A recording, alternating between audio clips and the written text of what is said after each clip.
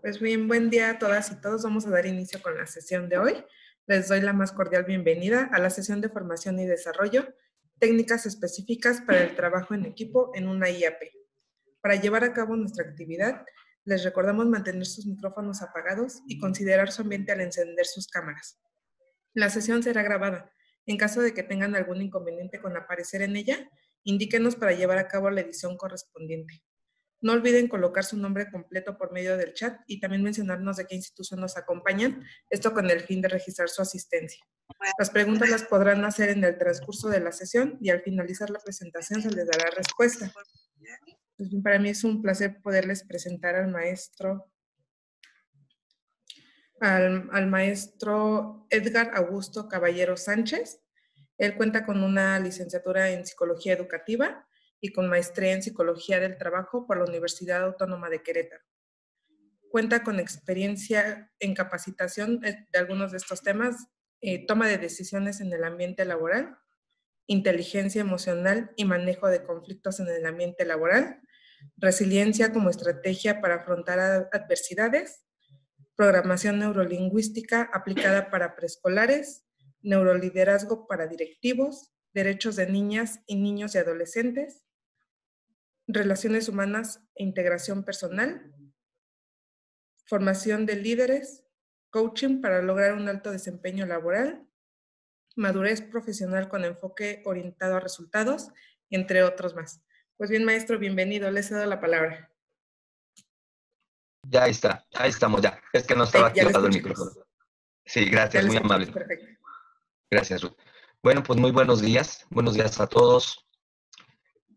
Bueno, ya me presentó aquí la licenciada Ruth. Agradezco este, la invitación. Vamos a estar trabajando con ustedes efectivamente estas dos sesiones, hoy martes y el día jueves, si no me equivoco, con este tema precisamente, trabajo en equipo. Van a ser, van a ser muy puntual, va a ser muy, muy específico precisamente. Quisiera saber antes de comenzar, em, aquí por medio del chat, y son tan amables, este, si tienen personal a cargo.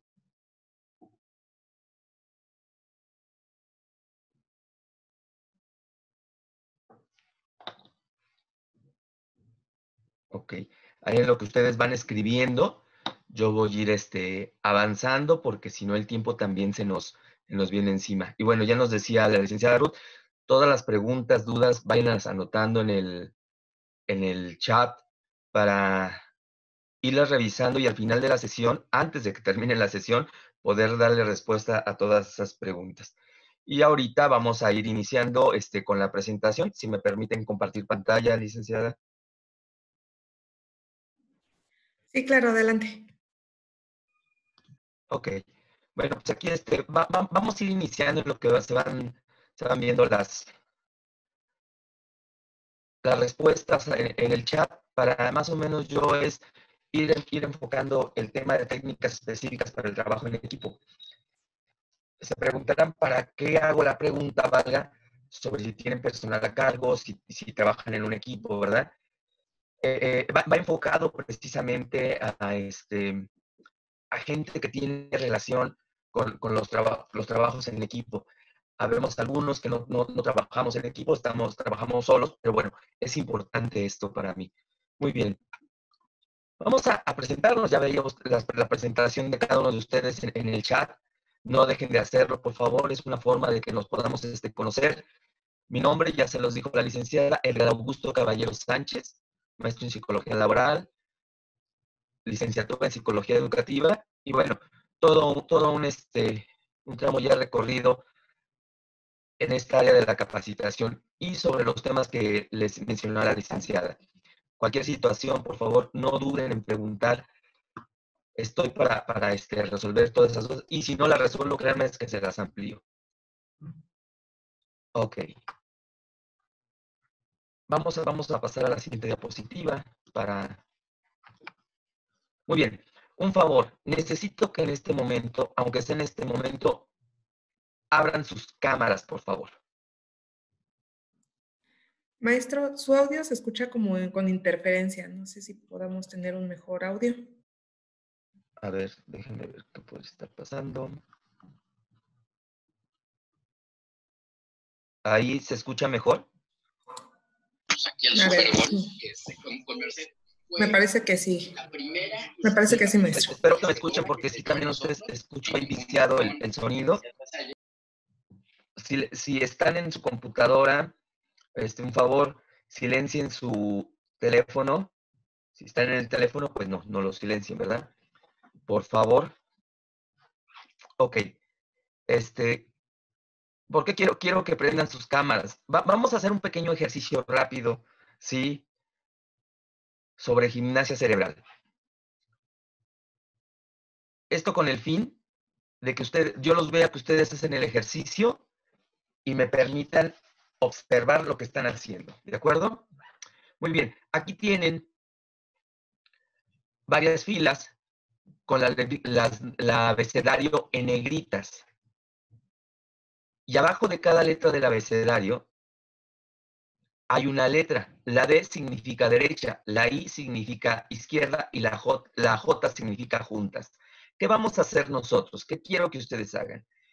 Créanme que si, si hacen un ejercicio diariamente de gimnasia cerebral, diariamente, y se van volviendo más complejos, créanme que este, las neuronas que se llegan a atrofiar por no usarlas van a empezar a reaccionar. Muy bien. Vamos a levantar la mano derecha si me pide la letra A, en este caso es derecha, levanto mi, brazo. La B me dice que es la letra, la, el brazo izquierdo. Y la C me dice que son juntas. ¿Estamos de acuerdo? ¿Sí queda claro? Ok. Vamos a iniciar en la primera columna de la A a la J. Vamos a ver qué tal nos sale. Déjenme, déjenme por favor verlos. Déjenme este, Permítanme trabajar este, este ejercicio. Ok, vamos a iniciar. Cada vez que ustedes levante, este, vayan a levantar la mano, tienen que repetir la letra del abecedario, por favor. Solamente la letra del abecedario y levantan el brazo, el cual se está indicando. Muy bien, iniciamos. Una, dos, tres. Muy bien. Bien. Muy bien. Ok. A ver, chicos, ahí de, de Fosby, del hospital. No los veo levantar las manos. Ah, ya, ahora sí. Ahí sí. Hágate cuenta que estamos en el aula, chicos. Yo sé que es un poquito complicado virtualmente, pero vamos a intentarlo, ¿vale? Ok. Muy bien, muy bien, Manuel. Muy bien, chicos. Ok, vamos a este, a iniciar ahora sí todos desde la A hasta la Z, por favor. Una, dos, tres. Iniciamos. Muy bien.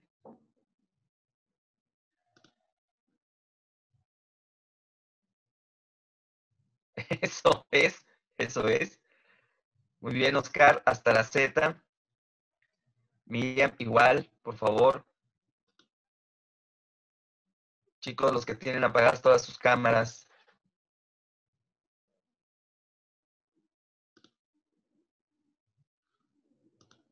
Ok.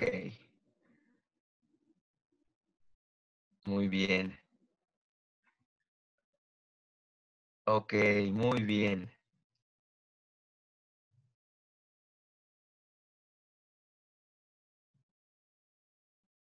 Eso es. Ok, algunos están terminando. Perfecto. Ok. Eh, ¿Qué, intención tiene, como les decía, este ejercicio? Realmente, como se lo digo a mis alumnos en la universidad, es que activen las neuronas, que son ejercicios de activación. Me activa, coordino un hemisferio con el otro, ¿sí? En lo que yo repito la palabra observo la letra de la indicación que debo de levantar la mano, ya están trabajando los dos hemisferios de mi cerebro. Es como deberíamos de funcionar absolutamente todos. ¿De acuerdo? Muy bien. Ok. Vamos a, voy a, voy a, alguien levantó la manita, creo. Ok, no, creo que no. Muy bien. vamos a, vamos a iniciar este, nuestra, nuestra sesión. Recuerden, recuerden este, anotar sus preguntas en el chat, por favor. ¿Cuál es el objetivo que vamos a tratar de alcanzar nosotros? Que al finalizar el curso, ustedes, participantes, identifiquen y analicen los conceptos y características básicas del trabajo en equipo, como son comunicación, resolución de conflictos, relaciones interpersonales, liderazgo, y las apliquen en su entorno laboral para alcanzar los objetivos y un entorno profesional sano. Muy bien, aquí también necesito que me, que me escriban en el chat cuáles son las expectativas, qué es lo que ustedes quieren alcanzar en este curso.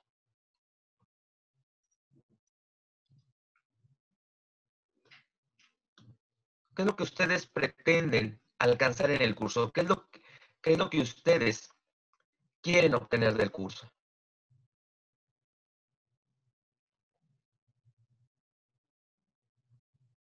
Muy bien, Alicia me dice conocer más herramientas que me permitan reforzar el trabajo de mi equipo de trabajo.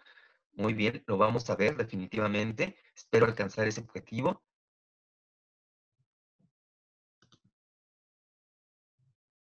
Obtener herramientas de comunicación y trabajo en equipo. Muy bien, Alicia. José Medrano, el trabajo en equipo para que funcione. Perfecto, resolución de conflictos.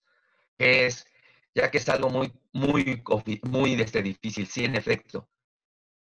Estrategias claras y probadas de cómo motivar también. Perfecto, que, que participen más de manera integral tener una, una, buena comunicación a trabajar como equipo. Perfecto, Guadalupe.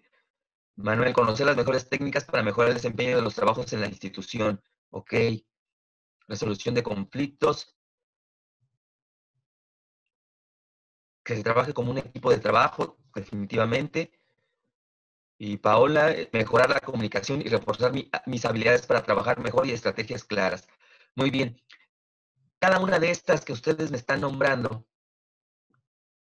Lupita Santiago, saber cómo trabajar en equipo con las características que se necesitan para un ambiente armonioso. Perfecto. Que todos nos coordinemos hacia un mismo lado para lograr objetivos. Muy bien. todas estas habilidades que ustedes están mencionando se llaman blandas. ¿Sí? Blandas, ¿por qué? Porque las vamos a aprender dentro precisamente de la cohesión de los equipos de trabajo, de los ambientes laborales y de nuestro ambiente social. Con la familia, ¿sí? Con los amigos, las, las vamos a aprender. Y muchas de ustedes las saben, créanme que lo saben. El punto es cómo las pongo en práctica. Y ahí, y leía, ¿no? En efecto quisiéramos que fueran efectivas. Todas las técnicas son efectivas. Aquí el punto es cómo estoy persuadiendo, estoy persuadiendo a mis compañeros, a mi, a mi equipo de trabajo para que logren. Y, y hablaban también de algo muy importante, cómo los motivo. Recuerden que hay dos tipos de motivaciones, las intrínsecas y las extrínsecas. Nosotros conocer a los miembros del equipo de trabajo, saber qué los motiva, estamos un punto adelante. Pero si a, mi compañero de trabajo, a mi equipo de trabajo le motiva una, algo, es, algo como un incentivo que se llama salario, va a ser muy complicado. Todos trabajamos por una necesidad y se llama dinero, porque tenemos que cubrir necesidades fuera de nuestro trabajo. Pero algo puede estar pasando en el trabajo que me permita no lograr lo que yo quiero. Vamos a, vamos a, seguir para irle dando inicio a esto. Ok, ustedes, ustedes tienen un diagnóstico inicial, creo que se los hicieron llegar. Si es así, chicos, nomás ahí los que alcanzo a ver, muéveme la cabecita, si lo, si lo tengo o no lo tengo. En un momento se los haremos llegar, maestro. Ok.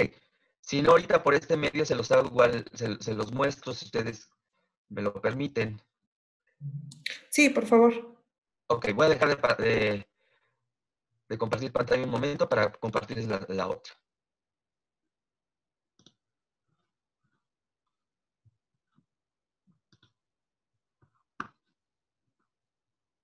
Ok, denme un segundito para que ustedes tengan en la pantalla el...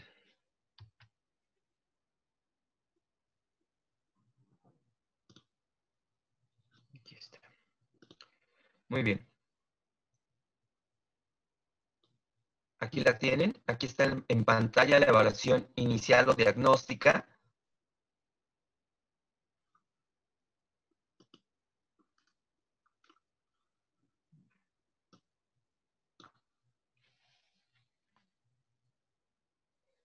Un segundito que se está trabando, se está viciando. Sí, sí, este, ¿está visualizando la pantalla, chicos? Sí, se ve la, una carpeta. ¿Se ve la carpeta o se ve la hoja de Word?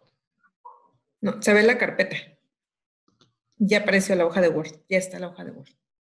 Ah, ok, perfecto. Ok. Son cinco preguntas, ahí las alcanzamos a ver todos. ¿Sí? ¿Qué vamos a hacer, chicos? Ustedes van a marcar o van a anotar la pregunta que ustedes creen que sea correcta. Yo voy a leer la pregunta y por favor ustedes seleccionen la respuesta correcta. ¿De acuerdo? La primera pregunta es, ¿qué es la comunicación?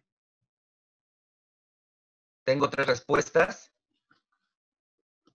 La primera es A, la que se da entre iguales. B, es un proceso de enviar y recibir ideas y hechos para procurar información y entendimiento entre una persona y otra. C, es un proceso que contiene muchos niveles complejos. La que ustedes crean que sea correcta, por favor, táchenla o anótenla, como ustedes gusten. Muy bien, la 2. ¿Cuáles, ¿Cuáles son los cuatro elementos del proceso de comunicación? A. Redactar, escuchar, recepción y canal. B.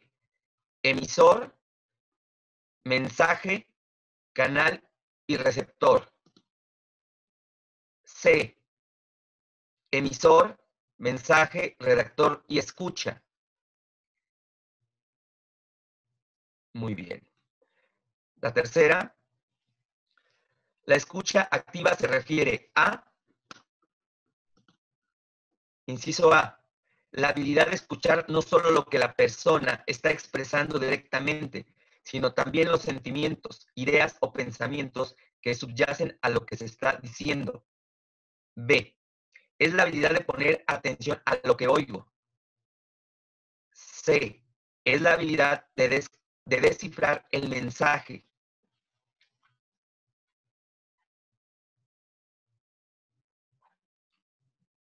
Muy bien. La cuatro.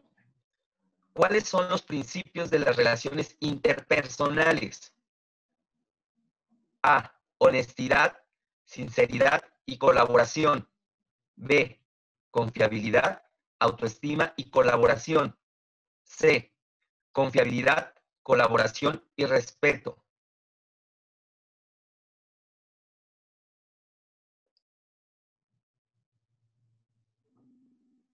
Muy bien. La cinco. ¿Qué significa la motivación en los equipos de trabajo? A. Es el conjunto de variables que activan la conducta para lograr un objetivo. B. Es la forma en cómo me hablan y realizo las cosas. C. Es el incentivo que me permite actuar ante una orden emitida por el superior.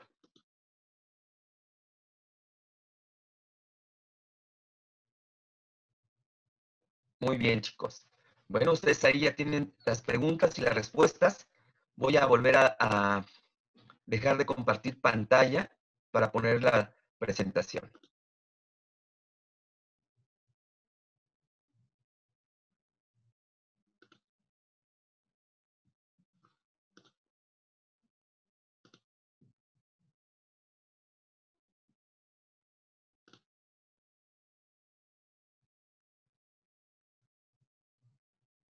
Perfecto. Ok. Vamos a, vamos a continuar. Voy a ir este, checando sus, sus evaluaciones, si me las pueden ir a hacer llegando o les puedo compartir un correo para que me las hagan llegar ese correo y yo más o menos darme cuenta de, de, la información que ustedes poseen acerca del, del, curso. Muy bien. El contrato grupal, vamos a buscar que, que seamos puntuales al inicio de, de la sesión. Son poco, es poco tiempo lo que tenemos y es mucha información y la verdad muy valioso para el, para el trabajo. La participación también es importante. Sé que los, los limitamos en, en, este, en esta forma de trabajar, pero si hay dudas, por favor, si hay dudas, inquietudes, háganmelas saber, anótenlas en el, en el chat para yo poder este, responder. Y el otro es el respeto, ¿sí? Si hay algo que ustedes quisieran agregar a este contrato grupal, adelante, lo, vamos, lo vamos este, añadiendo. La cuestión del respeto es porque se van a vertir cosas quizás personales y entonces en el chat nos podemos dar cuenta que todos lo podemos leer y me gustaría que si alguien lee algo de algún compañero, pues se quede en la lectura, se quede en esto, se quede aquí y no se transmita a los demás. Todo lo que ustedes aprendan o aprendamos juntos, básicamente, vamos a llevarlo al trabajo, ¿sí? A aplicarlo. Lo que escuchemos de las otras personas, de, situaciones personales, por favor, lo los mantenemos este, en nuestro resguardo. Muy bien. Pues vamos, vamos a iniciar rápidamente ya directamente al tema. El módulo 1, la comunicación de los equipos de trabajo, una herramienta fundamental en las organizaciones. Hablamos de empresas, hablamos de instituciones gubernamentales, hablamos de donde quiera que se hagan los equipos de trabajo. Dice Robert Papin, si no saben comunicar bien con los demás, no sabrán convencer ni motivar. Si no saben comunicar, estarán mal informados y no podrán dirigir ni controlar con eficacia. ¿Quiénes de ustedes, chicos, saben comunicar?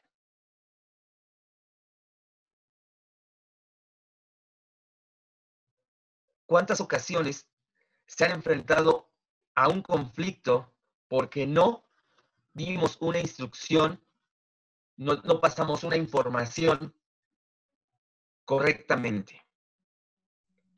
¿Cuántas veces lo estamos pensando acá, pero lo que está saliendo de acá no es lo que estaba pensando?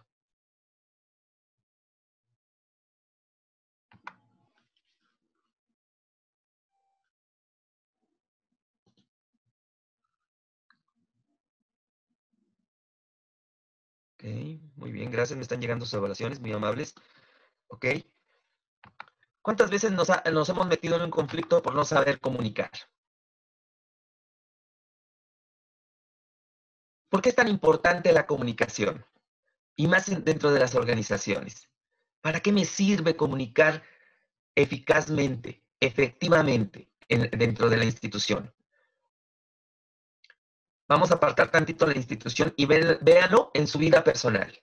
Porque así como se comportan, así como son en su vida personal, créanmelo, son en el trabajo. ¿Cuántas veces ustedes han hablado con sus hijos o dado una indicación a sus hijos y sus hijos no la catan?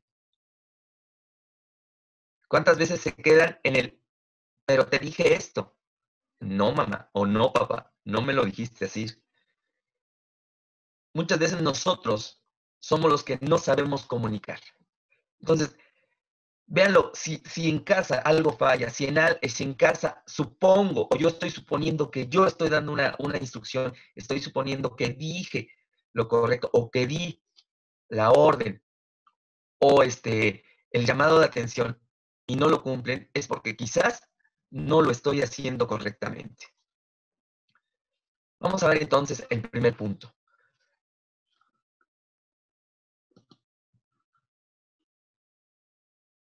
Claro, María Guadalupe me dice, para trabajar en sintonía todos juntos. Sí, para eso nos sirve la comunicación dentro de la institución. Recuerden que también la familia es una institución, la sociedad es una institución. Ok, la importancia de la comunicación. La comunicación fortalece a la organización, personaliza su identidad y le otorga su imagen tanto externa como interna al interactuar con otros grupos, equipos y organizaciones. Esa es la importancia de la comunicación. personaliza esta identidad. ¿Quiénes somos nosotros como institución? ¿Quién soy yo como persona? ¿Quién, soy yo como este, que estoy inmerso en esta sociedad? ¿Y qué sucede? Pues les da una imagen. ¿Sí? ¿A quiénes de ustedes se les dificulta comunicar? Bueno, veámoslo así. ¿A quiénes de ustedes no les gusta hablar en público?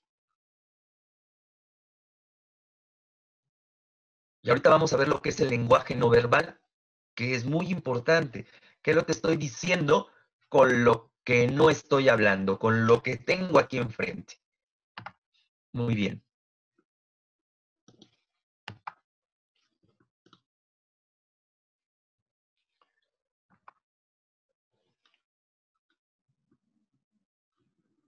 ¿Ok?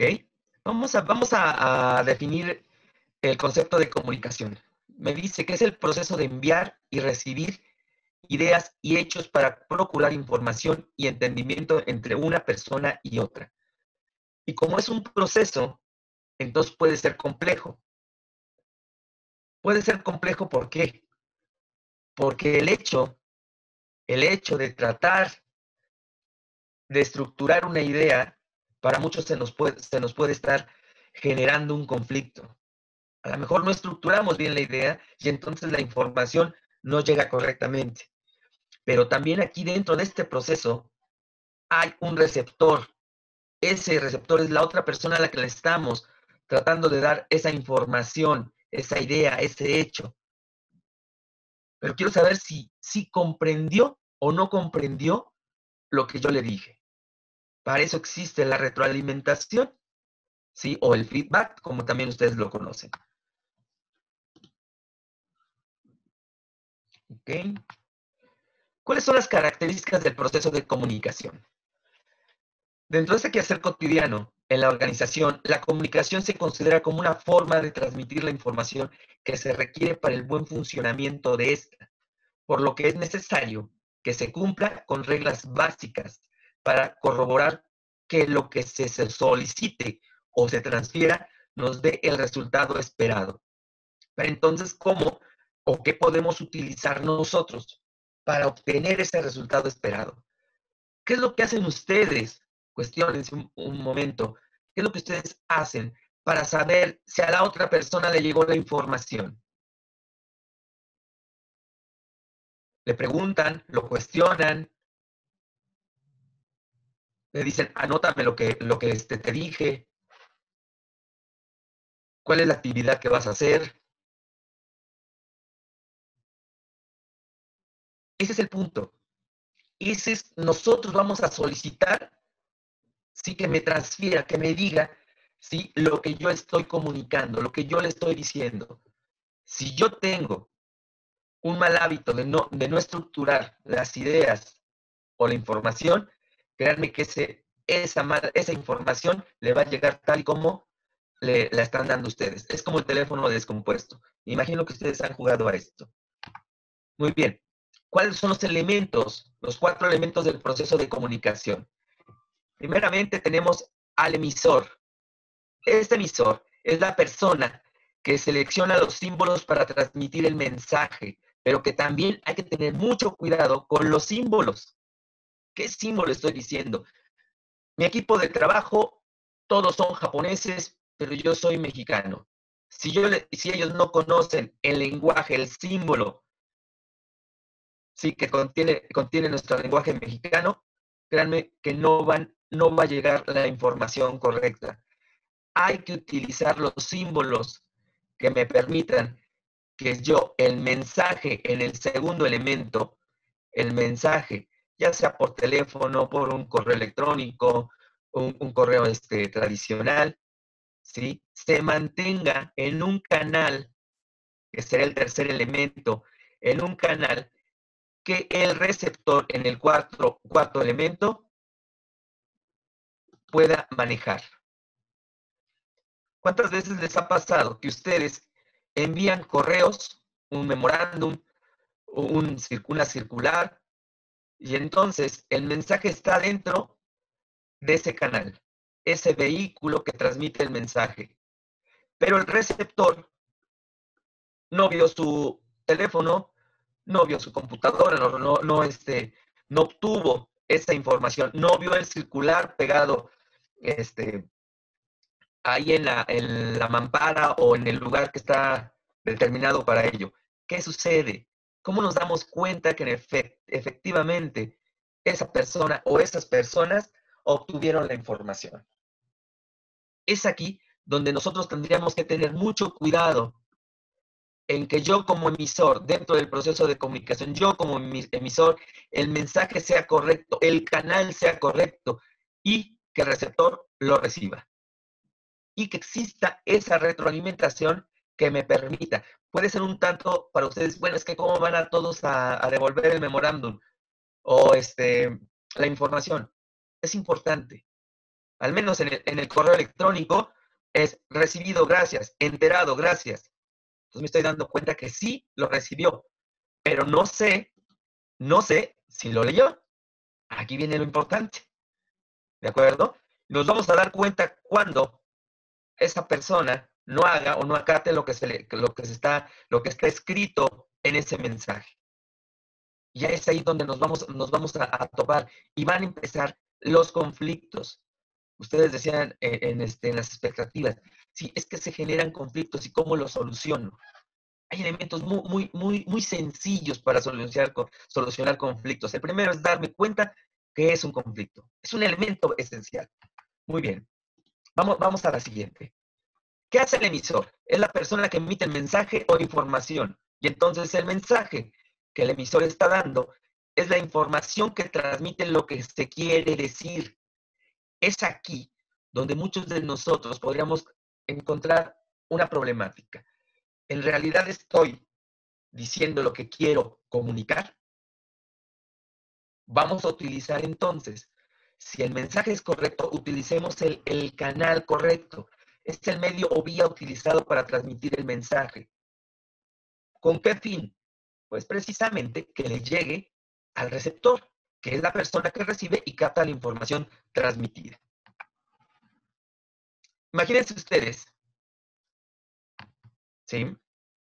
En, este mensaje, es una actividad, normalmente lo hacemos en presencial, pero imagínense que ustedes, uno de ustedes, si tiene un compañero al lado, dígale que cierre los ojos y que no lea la información, y si hay dos compañeros con ustedes al lado, que esos dos cierren, cierren los ojos y ustedes lean, lean este pequeño párrafo.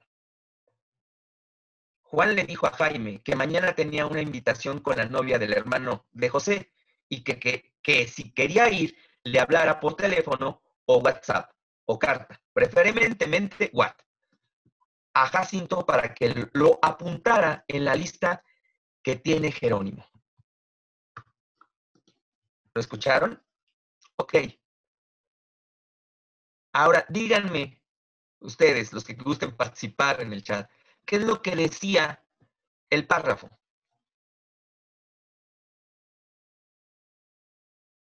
Escriban en el chat lo que decía en el párrafo.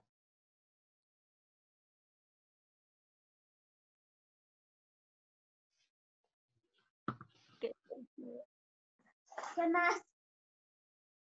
¿Sí? ¿Qué más? Aquí dice Pilar, no lo entendí no le entendí. ¿Se, escucha cortada la información? Guillermo Romero me pareció muy revuelto, sí, ok.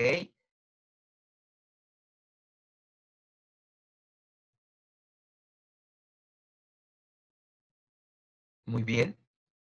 Lo voy a leer una vez más.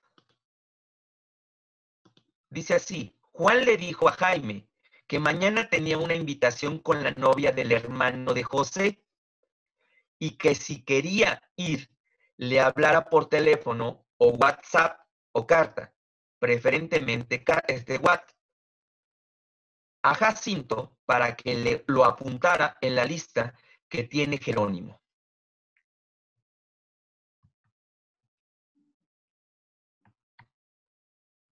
Ahí lo tienen. Muy bien. Ahora sí se entendió. Yo sé que está revuelto. Yo sé que son muchas palabras, ¿sí? Y es con toda la intención, créanmelo. ¿Por qué? Porque es precisamente lo que nosotros tenemos que hacer.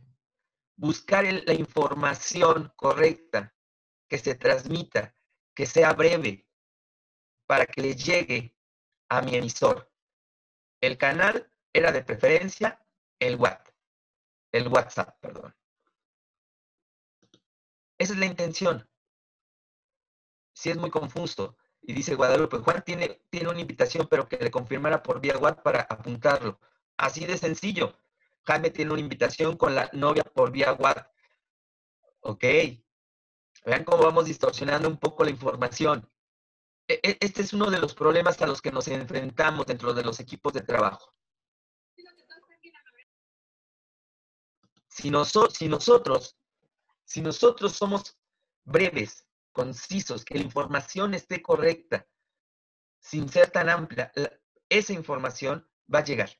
Y nosotros vamos a retroalimentar precisamente cuando el receptor le llega, oye, oye, este, oye, este Fernando, oye, Edgar, te envié información, te envié el correo, ¿la leíste? Dime qué te parece. Si te dice, pues está bien, no te está diciendo nada. ¿Qué tengo que hacer entonces yo, Edgar, para que Fernando me, haga saber que, que, la información la tiene y la leyó? Oye, ¿qué te pareció el informe que te envié? Había ciertos puntos que creo que tendríamos que resolver. Ahí estoy tratando de yo retroalimentar lo que envié para que entonces este Fernando me diga esa información y saber si en efecto la está leyendo. Ok, aquí dice este David, si hay que ir a anotarse en una lista para ir a una fiesta. Muy bien. Ok. Muy bien, chicos. Este, este tipo de problemáticas las vamos a estar viendo constantemente. Y nosotros tendríamos, ¿sí? Que adelantarnos a este tipo de problemas para que no se nos, vuelvan un conflicto. Recuerden que dentro de una organización, de una institución, una empresa, ¿sí? La información debe de correr de arriba abajo, de un lado al otro. No puede ser de arriba hacia abajo o de abajo hacia arriba nada más. Todos debemos de tener la misma información. Todos debemos saber qué es lo que, nosotros, lo que, los que se pretende dentro de, los objetivos del trabajo. Para eso existe definitivamente ¿sí? una misión y una visión. Esa, esa misión es lo que hago, lo que hago como institución, como empresa, ¿sí? Y la visión es a donde me quiero posesionar con la misión. Y para lograr esa misión y esa visión, sí hay objetivos. Y esos objetivos se cumplen gracias a los equipos de trabajo. Si los, los objetivos no están bien estructurados, créanme que los equipos de trabajo no van a saber para dónde estamos este, caminando. Muy bien. ¿Cuáles son los tipos de comunicación? Los tipos de las formas de comunicación humana pueden agruparse en dos grandes categorías, la comunicación verbal y la comunicación no verbal. Esto es lo interesante. Hay dos tipos de comunicaciones. Esta verbal y esta no verbal. ¿Les ha pasado a ustedes que dentro de la... Hoy, hoy en día, con esta cuestión del chat o con esta cuestión del, del, WhatsApp, mucha mucha de la información viene acotada, corta, utilizan símbolos como XD, como XO, XO. Si nosotros no estamos dentro, dentro del mismo código, muchas veces no vamos, no vamos a saber interpretar esa información. Vamos a ver qué es la, la comunicación verbal y no verbal. Según sea la calidad de la comunicación que, mantengamos será la calidad de la relación que obtendremos. Es muy importantísimo. Veamos aquí este pastel. 55% del lenguaje no verbal corporal. 7% son las palabras que usamos. 38% cómo decimos las palabras, sonidos y tonos. Vean qué tan importante es el lenguaje no verbal. ¿Qué les pasa a ustedes? Cuando una persona está frente a ustedes y les está hablando y la persona está así. Está cruzada de brazos. ¿Qué sucede? ¿Ustedes creen que a esta persona le está interesando lo que ustedes le están comunicando? No. Claro. Vean cómo hay ese lenguaje no verbal, sí, pero es corporal. El momento de yo cruzar mis brazos, el momento de cuando le estamos hablando a alguien, ah, sí, ajá, sí, interesante. Realmente esa información, lo que me está dando el otro es que no le interesa lo que le estoy diciendo. Precisamente por eso es la calidad de la relación que vamos a obtener. Si esa comunicación es efectiva, esa, esa relación, esa calidad en la relación no va a ser efectiva. Veamos entonces que el 7% únicamente son las palabras que estamos utilizando. Vean que poco es la comunicación verbal, ¿sí? Hablada, las palabras. Y el 38, pero aquí viene lo interesante, porque el 38% es como decimos las palabras. ¿Cómo lo estoy diciendo? ¿Qué tan importante es saber decir las cosas? Se supone que nosotros, cuando estamos en un trabajo, tenemos un compromiso. Un compromiso con la institución, un compromiso con el equipo de trabajo, un compromiso conmigo y también un compromiso con la ciudadanía o el ámbito social. Porque a final de cuentas nosotros prestamos servicios. Damos un servicio. ¿Cómo se sentirían ustedes cuando van a una tienda departamental o una a una tienda donde compran, no sé, un perfume, unos zapatos, una ropa, ¿sí? Que la persona que atiende, si ustedes le hablan, ni siquiera los voltea a ver. Se van a sentir mal. Y si no se sienten mal, es porque en efecto, ¿sí? Pues tampoco a ustedes, a ustedes les interesa comunicar. No les interesa el objeto definitivamente. Ustedes están ahí para observar nada más, no para comprar algo, no por una inquietud. Nada más les nació entrar. Pero si quieren, si quieran saber el precio del producto y la persona no los voltea a ver, pues no se van, van a sentirse mal, créanmelo. ¿Sí estamos de acuerdo hasta aquí? Ok. Incómodo. Muy bien. Vamos a ver este video, espero que se vea. Por favor, háganmelo saber si se está viendo y se está escuchando.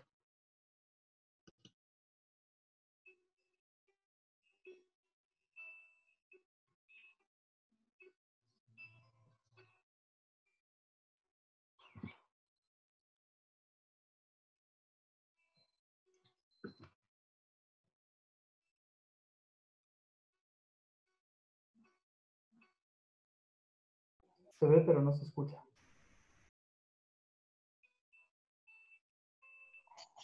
No se escucha el video.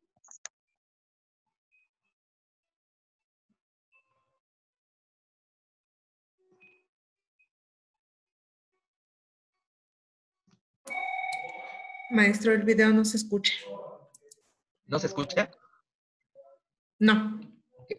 No, no, no hay tanto problema por la cuestión de la escucha, no tiene más que es una, es música.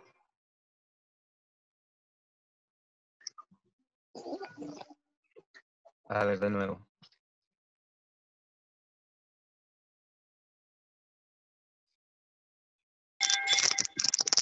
¿Y ahora?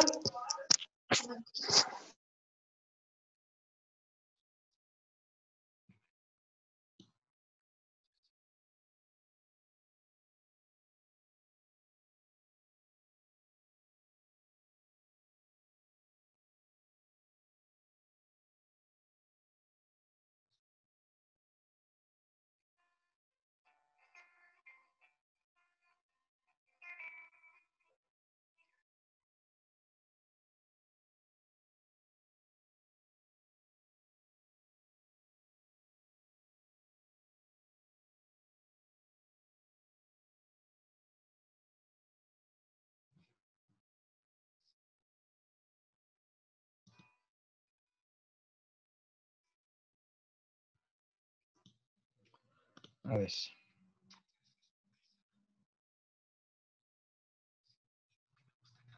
¿Sigue sin escucharse el, el video, perdón? Sí, todavía no se escucha.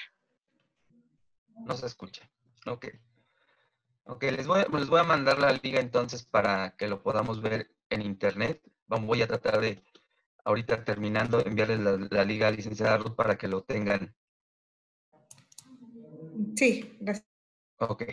Sí, porque sí, sí trae un poco de audio, pero bueno, todo, todo viene en los post-it. eh, Todo está escrito en los post-it. Pero ok, vam- vamos a terminarlo así y, si, y de todos modos les mando la liga para que ustedes este, lo, lo, lo, lo tengan.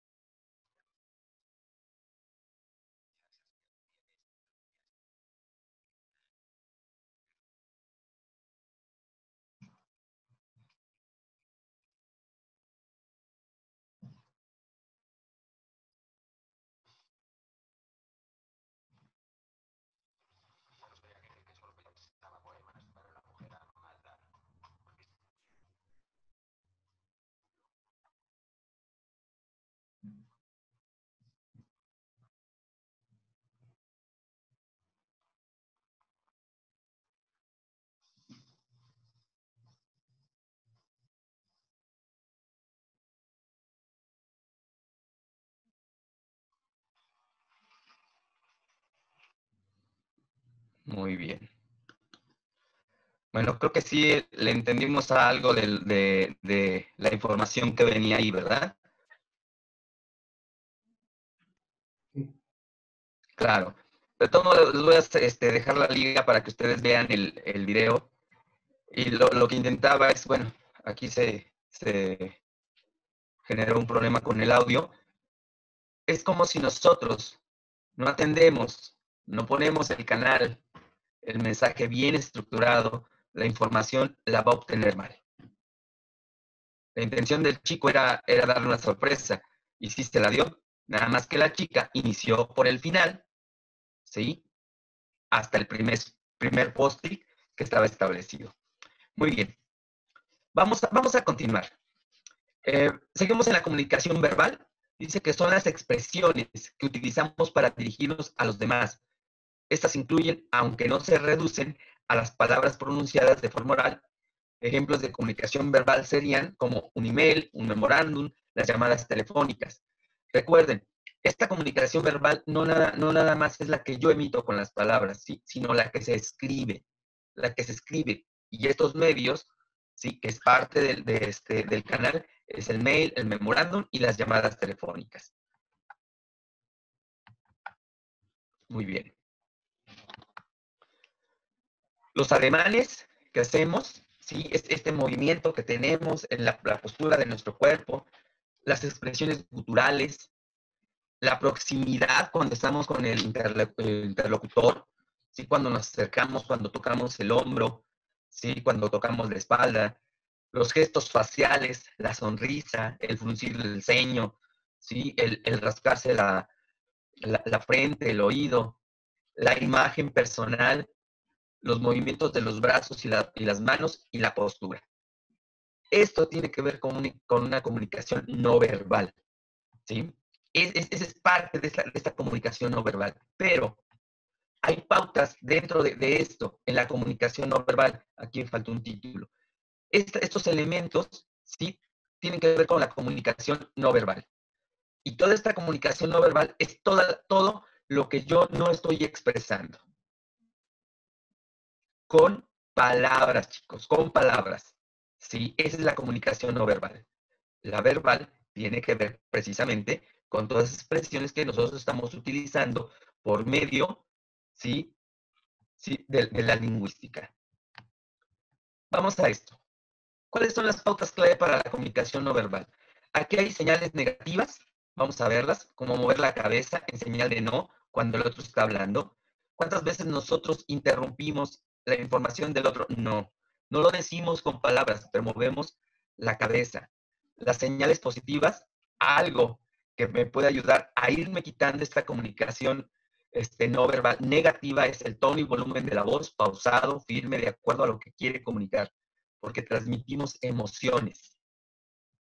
Toda la información que nosotros damos transmite emoción. Los hombros encogidos, mirada desinteresada y aburrida, labios apretados, mirar para varias direcciones. Esto a mí me va a permitir dar una señal negativa en una cuestión de comunicación no verbal. ¿Cuál sería una señal positiva entonces en esto? Mantener los brazos y manos en posición neutra, no cruzados. Mantener la cabeza y hombros levantados, siempre atendiendo a nuestro interlocutor. Mirar directamente al interlocutor, siempre hay que estarlo viendo de, frente. No lo tienen que ver a los ojos.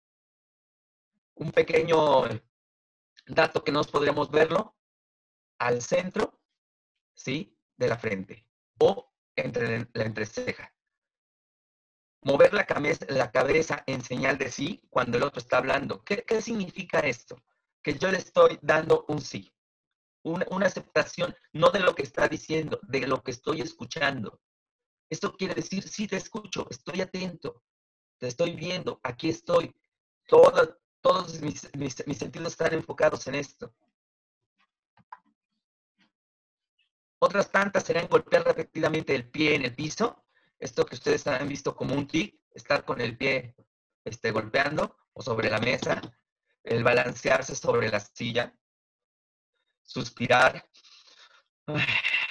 Estos son señales negativas, que no me interesa, que no quiero, que no me gusta lo que está diciendo. Hacer ruido en la mesa con los dedos, lo que decía. Mantener los brazos cruzados, caerse para atrás en la silla en posición muy relajada. Bueno, aquí yo les digo, deben de sentarse correctamente. Si nos sentamos correctamente porque la silla tiene un, respaldo, eso quiere decir que hay una posición ¿sí? de atención. Las señales positivas que debemos de estar este, emitiendo serían mantener los ojos bien abiertos. No es así, así como que, no, es una forma relajada, ¿sí? pero, pero con atención, evitar muchos movimienos posicionales al, interlocutor. Vamos a ver algunas personas que somos muy kinestésicos, aprendemos con movimiento, ¿sí? Y también transmitimos con movimiento. Entonces, van a, dar cuenta que algunos utilizamos mucho los brazos, ¿sí? O el movimiento de los pies. Estamos parados, movimiento hacia adelante, hacia atrás. Estamos dando esa información, pero es una señal positiva. La postura, cabeza y cuerpo derecho, distancia prudente, contacto visual, mirar al frente a la otra persona, gestos del cuerpo relajado y moderado, si está relajado no está esparramado, expresión facial, de acuerdo a lo que siente y expresa, seriedad, alegría, etc. Recuerden que transmitimos precisamente emociones. Imagínense ustedes que ustedes le dicen a su pareja, ¿eh? así en esta posición, te quiero mucho. ¿Le están transmitiendo lo que ustedes están pensando? Y con esa seriedad en, su cara, ¿eh? Esa expresión facial así. Y la otra posiblemente diga, yo también. Vean, chicas y chicos, cómo efectivamente estas expresiones faciales, ¿sí? Este, este, este, este, esta expresión, esta comunicación, perdón, no verbal, transmite emociones. Toda información transmite una cuestión emocional. Va impregnada de, esa emoción. Si nosotros llegamos y le decimos a un miembro del equipo, excelente trabajo, esa persona no lo va a creer. Bien hecho. No lo va a creer, créanmelo. Esa emoción, esa, eso no, no va impregnado de emoción este, positiva. Esta señal, si ustedes creen que fuera positiva, va a ser negativa hacer algo que no, se, no, no, no le está llegando. Ven cómo es tan importante saber expresar con emociones, saber aprender a emitir el mensaje correctamente. Muy bien. Vamos a ver este, este ejercicio. Este sí este, lo logran leer. Tantito aquí para que lo, lo vea yo también. El, ejercicio dice así. El subdirector de riesgos a la salud inicia su primer día de trabajo, para lo cual cuidó al máximo los detalles de su atuendo. Saludó a todas las personas cercanas a su oficina.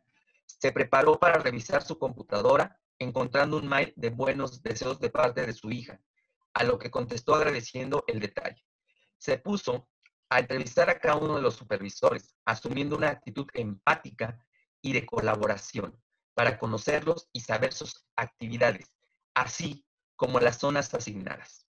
Posteriormente, su secretaria se presentó, disculpándose por el retraso ocasionado por una consulta médica, pero poniéndose a su disposición y entregándole un café. Continuó preparando un memorándum para su equipo de trabajo, especificando los formatos para la entrega de la información, a lo que siguió la presentación del director del área, quien fue a su lugar y le manifestó con un fuerte apretón de manos su beneplácito por su incorporación a la organización, al mismo tiempo que le entregaba el manual de procedimientos de la institución. ¿Cuál es el ejercicio que quiero que ustedes hagan? Con la información que tenemos aquí y que ustedes están leyendo, escriban en la columna que consideren correcta los ejemplos de dos tipos de comunicación según corresponda.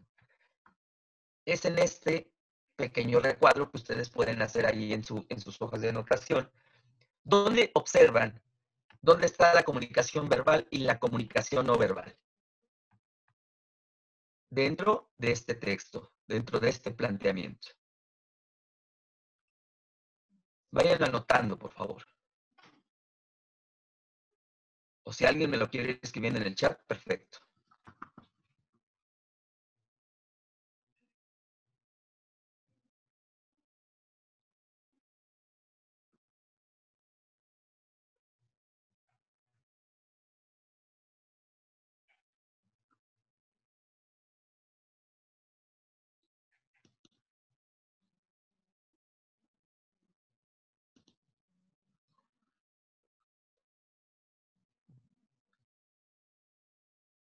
El atuendo muy bien. Es parte de la comunicación no verbal. Muy bien, Mónica.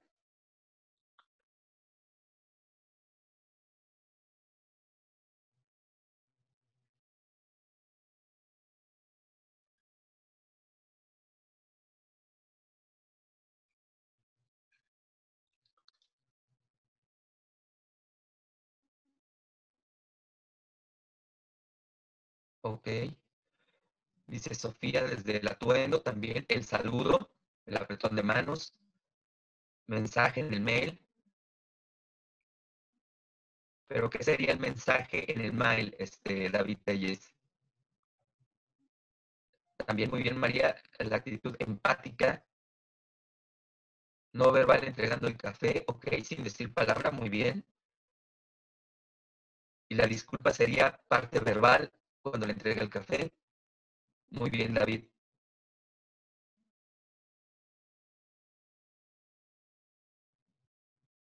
Fuerte apretón de manos, Guillermo, si es no verbal. Guadalupe López, el atuendo en su actitud al saludar en su mensaje de mail. Muy bien, el atuendo y saludar. Perfecto, en el mensaje. Muy bien. Ok, muy bien, chicos. En efecto, vean cómo, dentro de, este, de esta información hay muchas muchas, mucha información, pero sobre todo esa comunicación, tanto verbal y no verbal. En el atuendo, muy bien. Verbal, saluda a todos. Josefa, muy bien. Alicia, comunicación asertiva, clara y empática. ¿Qué sería, esta comunicación asertiva, clara y empática, este, Alicia, verbal o no verbal? Mariano Verbal, entrega del manual de procedimientos, muy bien. Josefa Verbal, entrevista a todos, muy bien.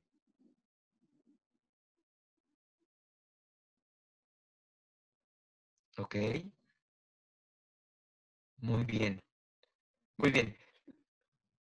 Josefa Verbal, entrevista a todos, empático, es no verbal, claro. Claro, Josefa. Vean cómo, debemos de ir cuidando muchos detalles. Pero no es, que no, es que lo estemos cuidando, es que nosotros lo volvamos una habilidad. Esta es una herramienta para comunicar, chicos. Tenemos que aprender a transmitir la información correcta en el momento correcto. Y esa es parte de la asertividad. Si dentro de los equipos de trabajo algo no, me está gustando, algo, no puedo dejar pasar esa información y tengo que ser muy asertivo y acercarme a, a la persona para saber qué está sucediendo. No busquen el culpable, den solución. Pero cuando ustedes ya den solución, acérquense a, ese equipo de trabajo para saber qué es lo que estaba sucediendo, por qué no se cumple el objetivo, por qué no cumplimos las metas. Aquí hay un ejemplo claro, lo que ustedes leyeron, de, este, de, esta, de esta comunicación verbal y no verbal, de esta parte empática, de, de esta situación asertiva, que es parte de la comunicación y que me permitiría a mí obtener mucha información y créanmelo, es una parte de motivación. Muy bien. Vamos a, al segundo módulo. Dudas, chicos, vayan iniciando, vayan dando ahí sus, las dudas que, se vayan generando. Estoy checando nada más los tiempos para no, no pasarme, chicos. Ok, módulo 2, la habilidad de saber escuchar en un ambiente de colaboración. Del escuchar procede la sabiduría y del hablar el arrepentimiento, el arrepentimiento, perdón, proverbio italiano. ¿Quiénes de ustedes, chicos, saben escuchar? ¿Quiénes de ustedes saben oír?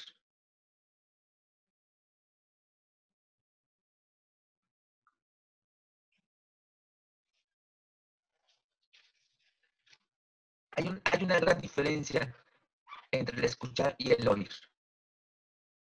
El escuchar es con atención. El oír, oyen todo, oyen todo. Quizá ahorita en, las áreas donde están, están en su trabajo, están en su casa, oyen ruidos, oyen otras pláticas, oyen el ruido del camión, oyen gritos, están oyendo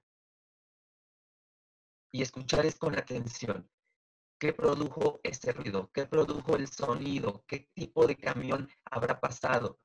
¿Quién estará gritando? Ese es escuchar, esa es atención. Vamos a ver cuál es la definición de escucha activa. Muy bien.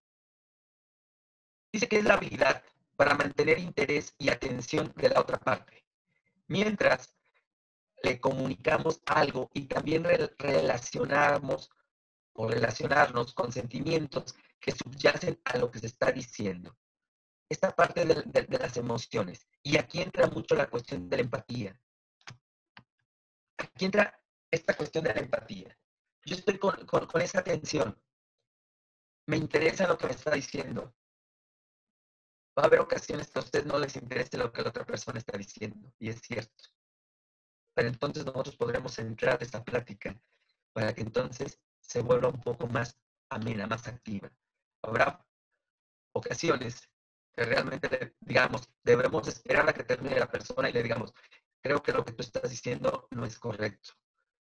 Esto no tiene, ¿sí? o no nos ayuda a obtener el objetivo. Esto es muy importante, que nosotros aprendamos también a decir que estoy en desacuerdo asertivamente y muy empatamente. Muy bien. ¿Qué necesitamos hacer? ¿O cuáles serían las condiciones necesarias para la escucha activa? Observar al otro. Muy importante. Es observar al otro. Si yo observo al otro, entonces estoy escuchando. Pero no nada más es verlo, observarlo, porque entonces a lo mejor mi pensamiento o lo que está aquí adentro está generando otra situación expresar al otro que le, que le escuchas. Con comunicación verbal ya veo, mm, u, etcétera, y no verbal, contacto visual, gestos, inclinación del cuerpo, etcétera. Nosotros, cuando estamos en esta cuestión de, escucha activa, tenemos que hacer esas expresiones. Cuando esa persona te comenta, ah, el proceso en el que estamos, parece ser que hay un fallo, ok, veamos. Sigue, sigue este, hablando la otra persona si el emisor, mm, ok, son situaciones ¿sí? que me permiten a mí expresar que lo estoy escuchando. El contacto visual es muy importante, ¿sí? Los gestos, esa inclinación cuando hacemos sí, sí, y seguimos viendo, me está indicando. Hay personas que son muy hábiles, ¿eh? Muy hábiles. Pueden estar haciendo algo, firmando, pero esa firma es rápida, bordeo, firmo y escucho y todavía no así re, retroalimento. A ver, lo que me quisiste decir fue esto. Sí, es que es así. Y sigues firmando, sigues haciendo, pero muy pocas sí lo pueden lograr. Es una habilidad. Y estas habilidades se obtienen practicándolas. Ok, el otro punto sería, otra condición sería abrir la mente y ser receptivos a las sensaciones, percepciones y sentimientos personales de mi interlocutor quitar los prejuicios personales, muy importante, y más dentro de los equipos de trabajo. No hagas un juicio, no, no te adelantes a, permite que el otro hable. Y esta condición de abrir la mente es permitirte que esta información llegue, se genere, para que entonces tú des un juicio ahora sí, pero sobre lo que se está dando. Nada personal, absolutamente nada personal. Otra de las condiciones que es al término de la práctica es muy importante preguntarle al otro las dudas con las que nos quedamos para corroborar si entendimos lo que nos quiso decir. Ustedes van a estar escuchándome a un servidor preguntándoles, ¿todo bien? ¿Sí? ¿Alguna duda? ¿Algún comentario? Si esas dudas se dan, entonces siempre es al término de la práctica, al término del párrafo, si es, si es este necesario para que para saber si efectivamente la información le está llegando directamente al otro como yo quiero que le llegue y el otro le está recibiendo como yo quiero que la reciba. ¿Estamos de acuerdo hasta aquí? ¿Dudas, chicos? Muy bien. ¿Qué es lo que nosotros tendríamos que hacer? ¿O cuáles serían las condiciones para evitar en la escucha activa? La primera es no distraerlos. ¿Les ha pasado que están platicando con su interlocutor y alguien pasa atrás de su interlocutor y, esa persona, hola, saluda a la otra persona. Si nos distraemos, vamos a perder atención, ¿sí? atención importante a la información. Otro de los puntos es no interrumpir al que hable. Muchas veces no lleva ni tres segundos y ya lo estamos interrumpiendo. Déjenlo que exprese la frase, déjenlo que exprese lo que trae. Es información. La otra es no juzgar, no hacer juicios, como les decía. ¿sí? Tratar de no involucrar la parte personal con la cuestión laboral. No ofrecer ayuda o soluciones prematuras. Déjenlo que termine nuevamente. Primero, si cuestionen, pregunten sobre qué podría hacer él o ella. ¿Qué solución le podría dar? No se, no se adelante. Otro punto sería no rechazar lo que el otro está diciendo. ¿Y cómo hacemos esto? ¿Cómo rechazamos lo que el otro dice? No. Inmediatamente moviendo la cabeza, negando, no. O haciendo ademanes, oh, ya vas a empezar.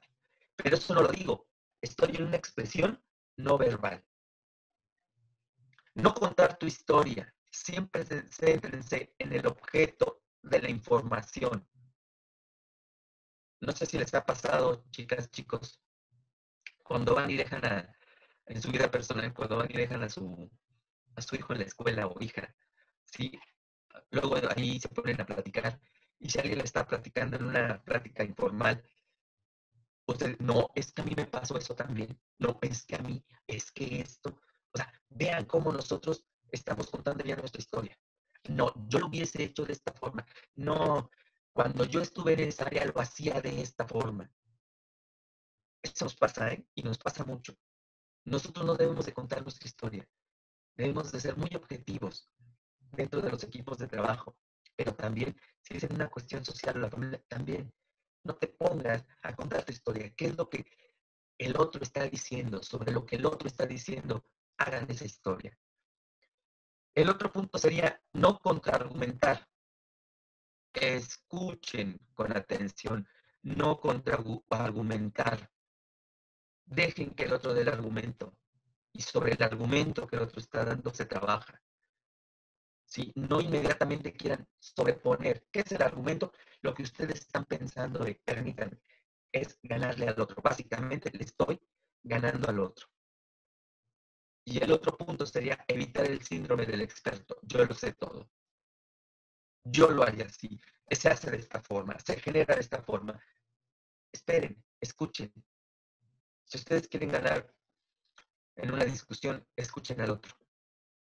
Yo sé que es difícil, pero escuchen. Escuchen el, argumento del otro. Y cuando el otro termine, generen la información, den soluciones. ¿Estamos de acuerdo? ¿Dudas? Muy bien. Elementos en la escucha activa. ¿Qué elementos nosotros tenemos que tener dentro de esta escucha activa. Para que entonces estemos escuchando con, atención es evitar generalizaciones. Ser breves, importantísimo. Si yo quiero que el otro esté enfocado en lo que le estoy diciendo, hay que ser breves. No generalicen, puntualicen. Puntualicen qué es lo que se necesita. Discutir temas uno a uno necesario. ¿Por qué? Porque de un tema se saltan al otro, al otro, al otro. Espérense. Terminen, un tema y después sigue otro. No mezclen. Y entonces regresan al primero. Pero entonces ya se les ocurrió otro. Y vuelven a regresar al primero. Discuten, discutan los temas uno a uno. Es como una negociación.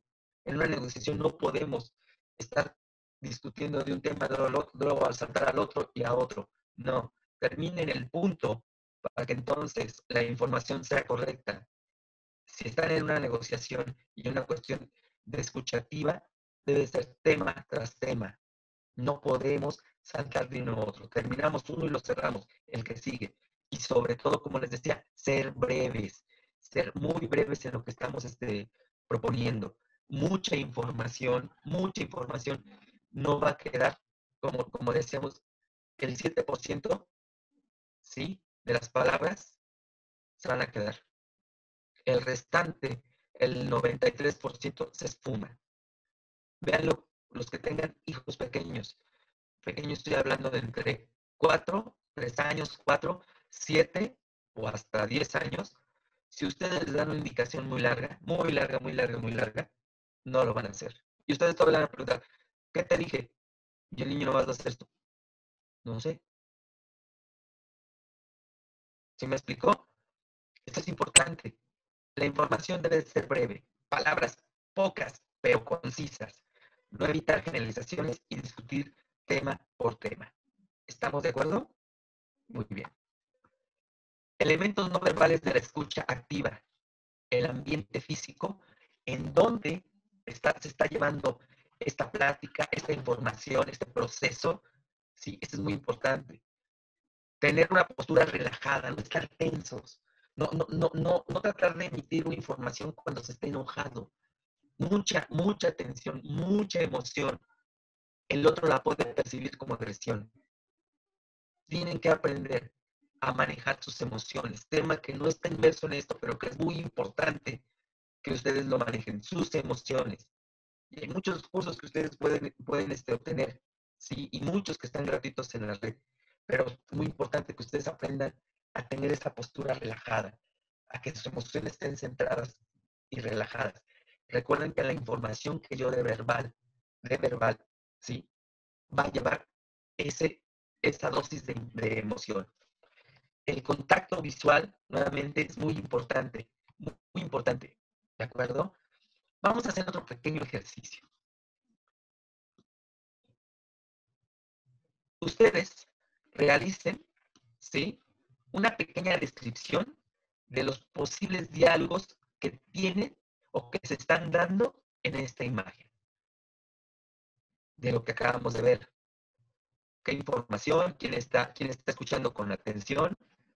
¿A quién no le interesa este lenguaje no verbal?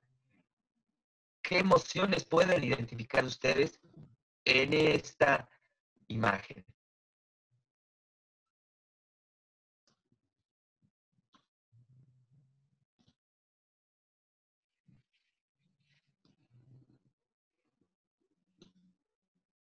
Vayan analizando. Quizá alguno de ustedes esté pensando, ¿y esto para qué nos sirve? Pues para que ustedes identifiquen precisamente, ¿sí? La información que les está dando la otra persona.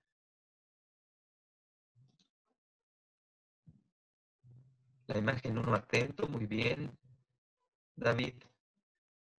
En efecto, aquí de su lado izquierdo, la primera persona en esta, en esta posición parece ser que está eh, con atención a esta otra.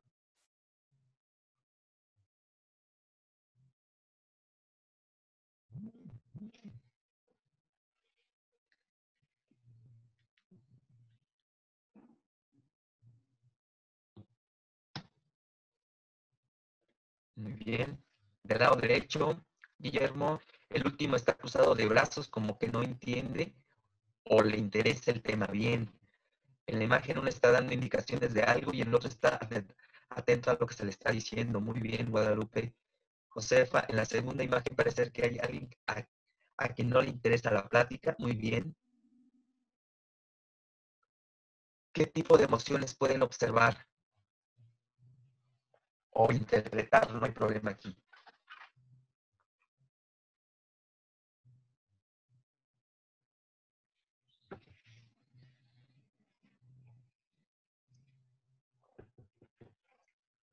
A ver, Guadalupe, por favor. Guadalupe.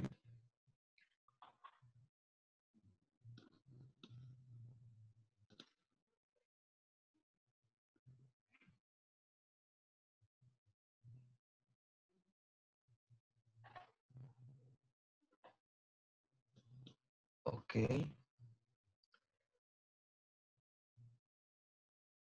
Vaya, en la imagen uno escuchando, en la dos explicando, en la tres discutiendo, cuatro discutiendo, cinco, cinco atendiendo, observando, muy bien, muy bien María del Pilar, Guadalupe, este David, en la segunda imagen parece que están discutiendo, claro. Katy en la primera imagen se ve que escucha atentamente y en la segunda hay uno que no le interesa bien. Pilar, hay tensión en la cuarta persona, muy bien. Pilar, ¿cómo, cómo te das cuenta de que hay tensión en la otra persona? Guadalupe, la otra imagen es como una discusión. Claro, claro, claro.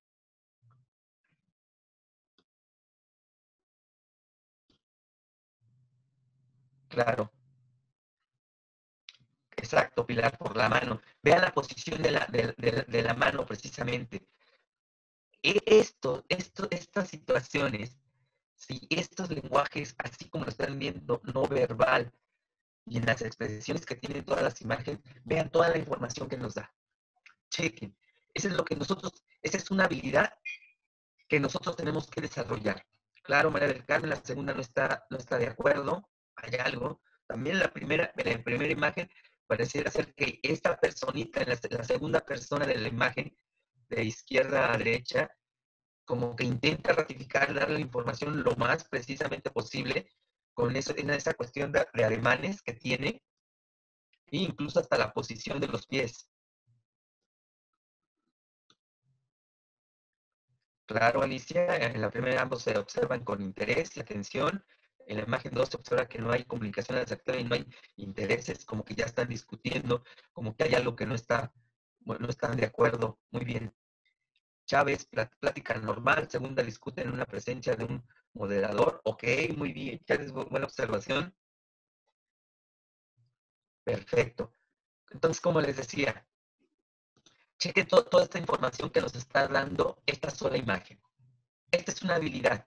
Y entonces ustedes decían, en sus expectativas, herramientas. Aquí hay una. Hay que aprender ¿sí? escuchar activamente. Y hay que evitar ¿sí? Es, esas situaciones que le dicen al otro que no me interesa. Muchas veces nosotros los vamos a utilizar en cierta forma lenguaje no verbal para persuadir. ¿sí? Para persuadir al otro y hacer sí, que no me interesa. Pero muchas veces es una estrategia. Pero esa estrategia tenemos que saberlas utilizar. Porque entonces puedo dar una información falsa y quizás la otra persona lo interprete de una forma diferente. ¿Estamos de acuerdo? Ok. ¿Dudas hasta aquí, chicos, chicas? ¿No? Muy bien. No, gracias. Vamos a ver. Ok. Muy bien. Entonces, regresando un poquito a esta, imagen. Nosotros una de las habilidades que vamos a poder desarrollar es precisamente a comunicarnos. Dentro de esa comunicación tenemos que aprender a desarrollar otra habilidad que se llama precisamente, sí, habilidad de la escucha activa no podemos dejarla de lado. Esto es muy importante para los equipos de trabajo. Si queremos habilidades puntualizadas, esta es una de ellas. Si nosotros aprendemos a comunicar eficientemente lo que queremos transmitir con lo que estamos diciendo o lo que estamos informando este, en algo escrito, tenemos que aprender a comunicar.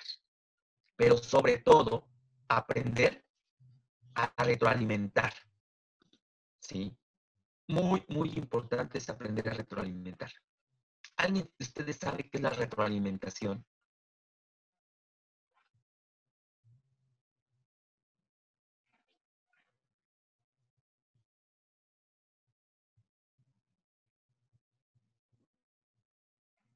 Ok, está llegando el chat, perfecto.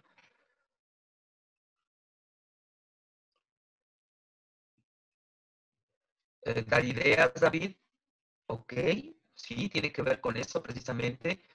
María del Carmen, varias ideas, claro. Muy bien.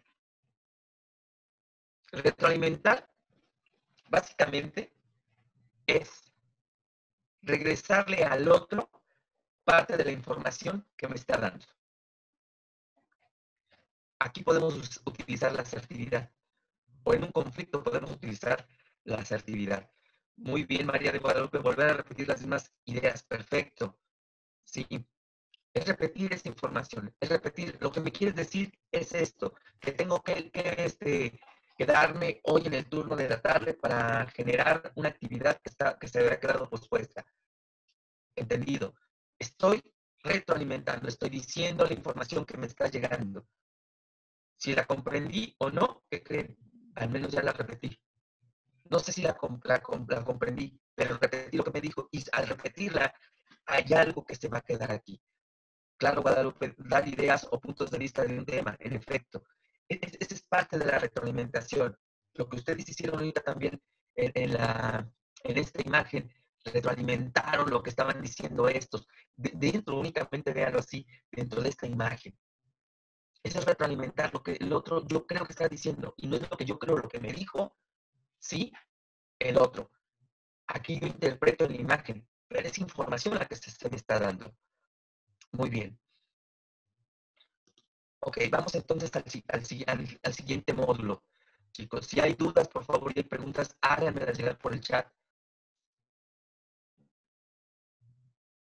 Vamos a dar unos minutitos hasta el término de la sesión para yo revisar las preguntas si hay y poder este, contestarlas. Muy bien. ¿Qué vamos a ver en este módulo 3? Las relaciones interpersonales, una herramienta para fortalecer los equipos. Pregúntense por qué.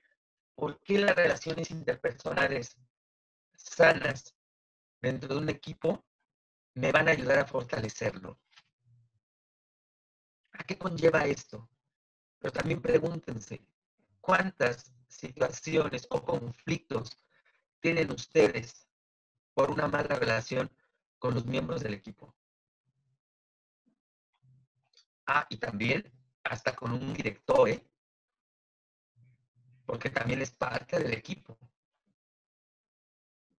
O ustedes como directores o directores o supervisores o jefes de área, ¿cuántas ocasiones no han tenido un conflicto por una mala relación? Hay expresiones como, es que no me llevo bien con él, eh, eh, es que no compatibilizamos es que no nos caemos bien. Muchas de estas expresiones las tenemos, pero en realidad es porque ha generado un conflicto, no hemos dado, eh, este, no nos hemos enterado del conflicto en cómo se origina y está, está generando malas relaciones. Y ya a lo mejor, como dice Covey, ¿sí? el 95 o 98% de los conflictos y de no alcanzar las metas y los objetivos tienen que ver por una mala comunicación. Ok, Madre Guadalupe, este, me escucho entrecortado. Ya cambié la... Denme un segundo, déjenme apagar el wifi de este celular voy a poner los datos para mi transmisión a ver si eso ayuda, ayuda más. Ustedes díganme si se sigue escuchando así entrecortado, por favor.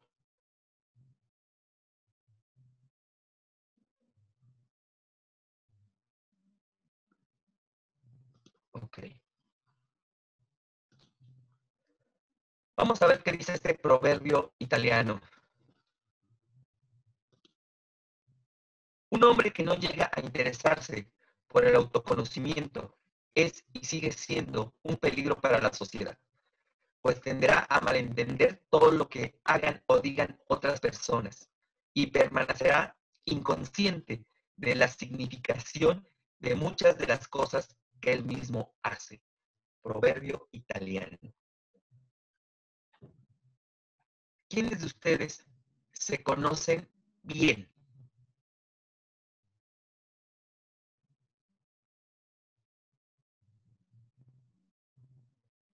quienes aplican el autoconocimiento para saber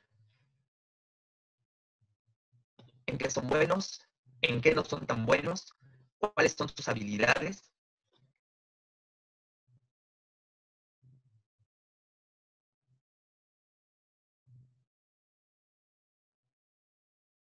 ¿Quieren darse cuenta a través de un ejercicio?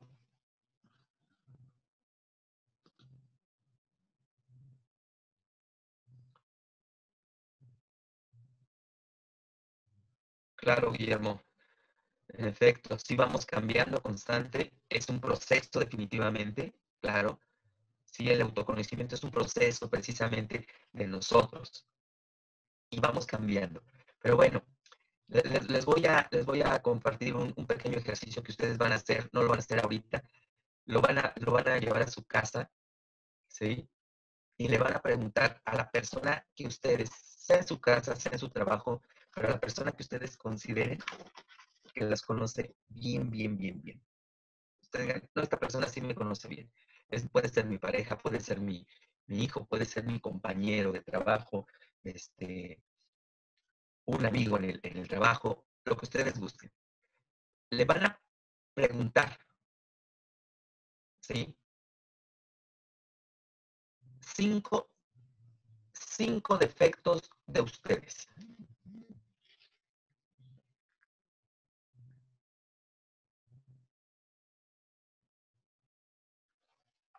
Cinco defectos de ustedes. ¿Queda claro? Pero hay una condición. Que a ustedes, a ustedes se los escriban en un papel.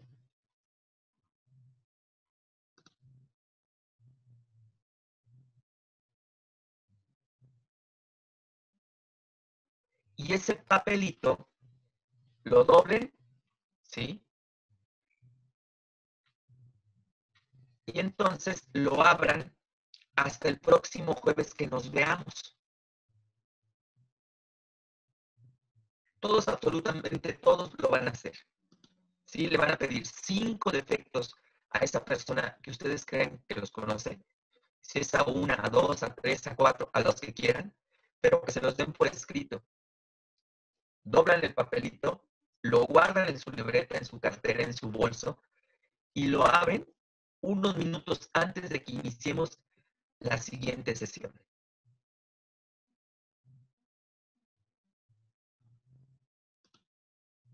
¿Estamos de acuerdo? Nos va a ayudar muchísimo en esta cuestión del autoconocimiento. ¿Vale? Muy bien. Ok, déjenme ver aquí el chat que. Me están enviando un mensajito. Ok. Ah, ok, David. Es, van a pedirle cinco defectos a la persona que ustedes creen que los conoce muy bien. Puede ser una, dos o tres personas, no importa. Se los van a escribir ellos a ustedes en un papelito, lo van a doblar y lo van a guardar hasta unos minutos antes de la siguiente sesión. No los van a abrir hasta antes de la siguiente sesión. ¿De acuerdo? Muy bien. Ok. Entonces vamos a iniciar con este módulo. Las relaciones interpersonales, una herramienta para fortalecer los equipos. ¿Ok? Las relaciones interpersonales en el ámbito laboral. Nuestra vida diaria se desarrolla en continuos contactos y relaciones interpersonales, esto es, entre dos o más personas. Siempre, siempre estamos en continuo contacto en esta cuestión de relaciones interpersonales. Normalmente no podemos vivir sin una relación con un otro. ¿Recuerdan la película, aquellos que la han visto, la película de Wilson? en la necesidad del náufrago, él tenía esa parte de hablar con alguien. Es una necesidad. Tuvo que inventarse aquí, poner una cara, ponerse balón de Wilson, precisamente para tener una relación. Y esto, o estos contactos, los llevamos diariamente, diariamente. Desde que ustedes se levantan, desde que revisan su celular, si me llegó un mensaje, si salen a, a este, a la calle, saludan al vecino, saludan a alguien, permiten el paso, obstruyen el paso. Siempre hay un continuo, una continua relación con alguien. Cuando llegan a su trabajo, buenos días, ¿cómo están? Llegan con el equipo, ¿qué tal? ¿Cómo les fue el día este de ayer? ¿Cómo pasaron la noche? Estamos relacionándonos, estamos relacionándonos. No hay forma de evitar esa relación. Todos nos relacionamos, sea de una forma verbal o no verbal. ¿sí? Hablando en la cuestión de la comunicación. Muy bien. ¿Cuál es el concepto o la, definición de relaciones interpersonales? Las relaciones interpersonales son aquellas actividades que se realizan y actitudes que asumen los seres humanos para obtener y conservar la cooperación y la confianza de los integrantes de un grupo y para establecer una buena correspondencia del trato y comunicación entre sí. Qué, interesante. Entonces, son actividades y son actitudes. ¿Por qué?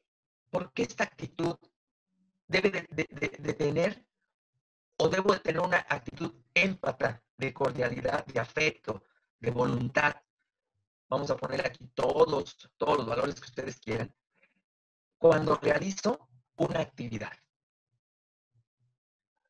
¿Cuántas veces han observado ustedes en una comunicación no verbal que cuando dan una indicación, la otra persona hace una mueca?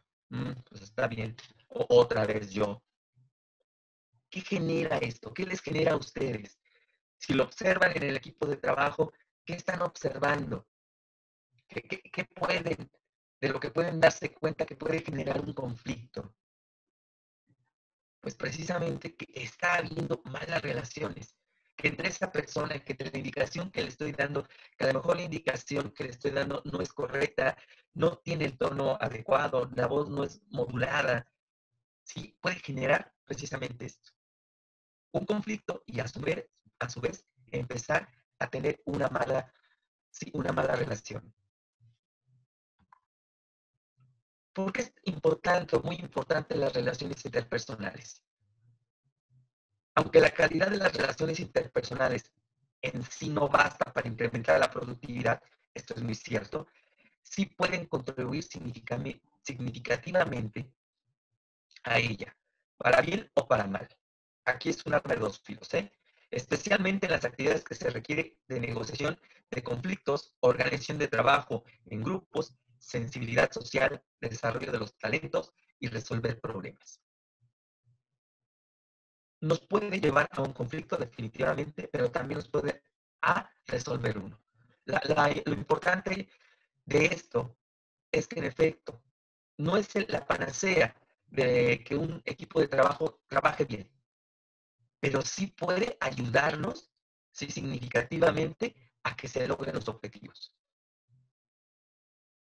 ¿Cuántas reuniones existen o hay al mes en sus equipos de trabajo?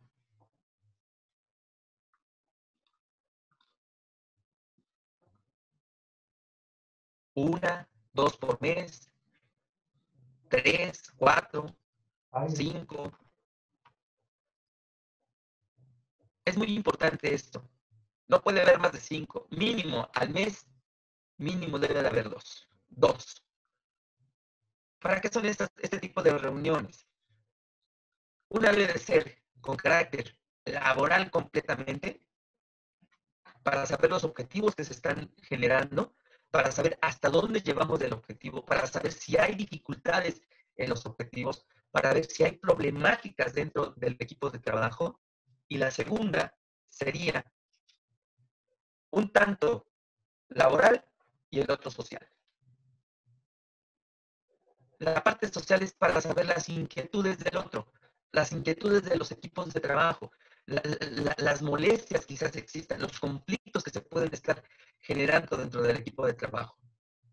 Por eso son importantes importante al menos dos reuniones mensuales dentro de los equipos de trabajo. Pero también las reuniones de ser breves. ¿Sí? Máximo, máximo 20 minutos. 30 ya por mucho, pero deben de ser enfocadas, puntualizadas. ¿sí? La social vamos a permitir ir generando que el otro exprese, que diga qué sucede dentro de los equipos de trabajo. Esto va a generar precisamente que esas relaciones ¿sí? vayan apuntando al objetivo, que se genere, se de mayor productividad y el alcance de posesionarnos en nuestra visión de la institución. Y claro, sí, en la misión que se tiene para el servicio. ¿Estamos de acuerdo? ¿Dudas, comentarios? Muy bien. Hay tres principios este, dentro de las relaciones interpersonales. El yo, el tú y nosotros.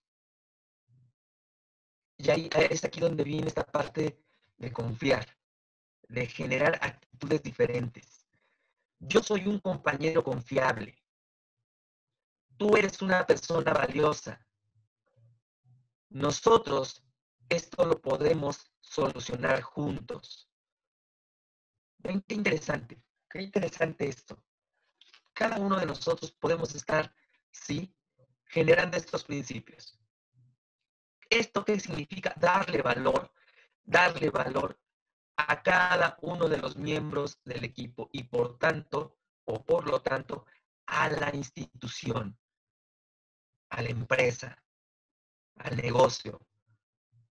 Yo soy compañero confiable, tú eres persona valiosa, nosotros lo podemos hacer o solucionar juntos. Son tres principios que nos tendremos que estar trabajando constantemente. ¿Quieren motivar al personal? ¿Quieren motivarse ustedes? ¿Quieren generar, verse motivados y expresar esa motivación hacia afuera? Hagamos esto. Que confíen en mí.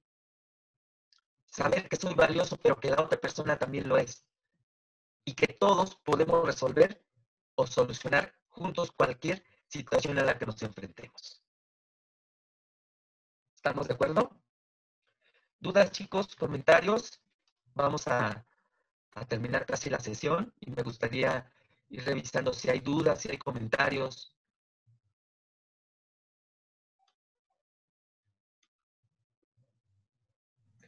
En el chat no tenemos ninguna pregunta, maestro. No sé si en este momento quiere alguien hacer alguna pregunta, ya sea por el chat o activando su micrófono.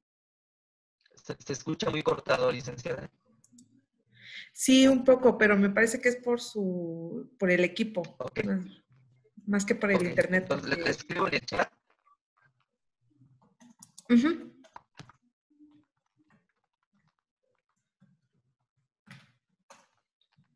No hay dudas, maestro. Estoy escribiendo en el chat. Si hay alguna pregunta, alguna duda,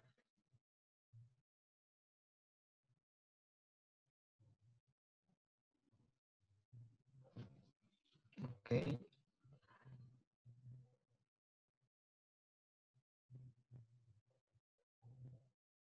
hacer cuando, a ver, María Guadalupe, ¿qué hacer cuando un integrante del equipo, del equipo no jala parejo? Perfecto, María Guadalupe. También digamos esta parte de los equipos, pero qué bueno que adelantamos un poco. debemos de saber si en efecto. ¿Cuál es la inquietud de esta persona? ¿Cuál es su necesidad? Le gusta el trabajo que, está realizando, no le gusta el trabajo que está realizando, hay algo que no, esté, no le esté gustando del trabajo que realiza. Pero también podríamos preguntar, ¿sí? Y, es, una pregunta, se las voy a hacer a todos ustedes en este momento. ¿Cómo se sienten el día domingo, más o menos como eso de las 8 de la noche? ¿Cuáles son sus expresiones que tienen porque tienen que ir a dormir para mañana ir a trabajar. Y tiene que ver con esto, este, María Guadalupe. ¿Qué problema me está dando el trabajo? ¿Qué, qué, tan, ¿Qué tan malo estoy viendo yo el trabajo? Hay algo que decía Freud. Para sentirnos plenos, para sentirnos realizados como personas, hay dos condiciones. Amar y trabajar. Si yo amo, si yo sé amarme a mí mismo, sé quererme, respetarme, como esta cuestión del autoconocimiento, ¿sí? Lo que yo haga, que es trabajo, voy a estar pleno. Y el punto entonces aquí, en lo que me pregunta María Guadalupe, es, tengo que investigar, tengo que acercarme. No podemos desgastarnos mucho tiempo en un miembro del, equipo. No puedo darle toda la atención a eso me refiero. Porque entonces puedo descuidar, ¿sí? Al equipo completo. Es saber, acercarme y saber cuáles son sus inquietudes. ¿Qué es lo que, qué es lo que le llena, lo que él desea, lo que le gusta? Se van a encontrar ustedes. Ok, también aquí me dice María del Pilar. Ok, damos un segundo término de esto si, nosotros nos, damos cuenta de lo que está sucediendo, si nosotros observamos lo que, lo que está pasando, si, si podemos descifrar esa información que está generando o que va a generar el conflicto o que genere el conflicto, hay que detenerlo. Y les decía, no me puedo quedar mucho tiempo con esta persona. Hay ocasiones que ustedes van a darse cuenta, esta persona es muy buena sacando copias, verdaderamente como ella no saca copias.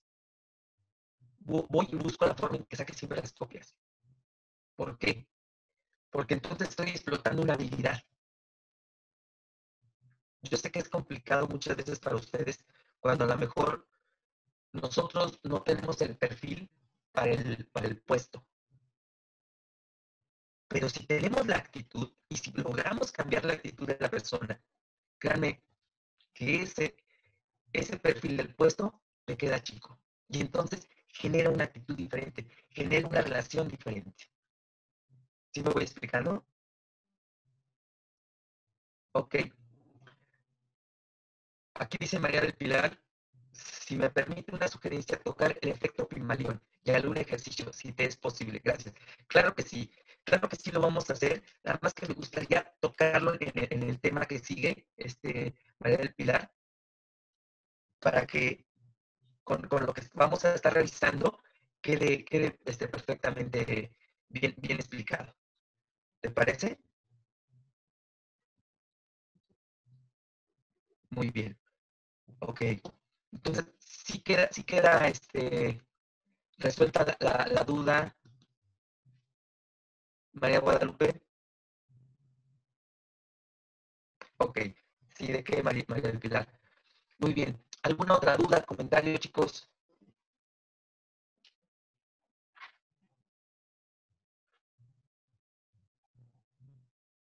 Muy bien.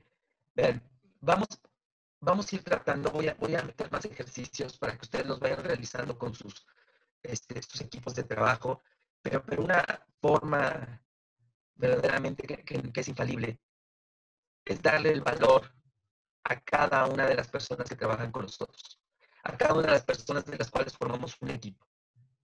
Dar, dar precisa, precisamente ese, ese espacio a cada uno de ellos. No es porque vayan con uno, con otro, con otro, no. El equipo de trabajo es uno. Y ese equipo de trabajo me va a permitir a mí darme cuenta de los, de los, de los efectos que hay ahí, de las problemáticas. Y, voy a intentar que estas dinámicas que ponga aquí o los ejercicios estén más enfocados. ¿sí? Todos están, enfocados, pero quiero que tengan el impacto que ustedes necesitan porque en efecto yo sé que se enfrentan a muchas problemáticas, no nada más como esta que una persona no quiere, no, no quiere jalar parejo, sino incluso a generar problemas entre los mismos compañeros, a distorsionar la información, a este radio pasillo. Pero esto afecta a todos. Y básicamente afecta a los objetivos que se quieren alcanzar. La intención con esto, como les decía hace rato, es que ustedes aprendan a manejar, esas emociones. No se enojen o que escuchen, piensen, piénsenlo un poquito. Traten, traten de ser empatas con el otro y qué es lo que me está diciendo con lo que me está rebatiendo o con su inconformidad. No se fijen en el enojo, no se fijen en la actitud. Siempre traten de enfocarse en lo que está atrás de la actitud de esa persona, no en la actitud en sí. ¿Estamos de acuerdo? Esto nos va a ayudar muchísimo y nos va a permitir precisamente, ¿sí?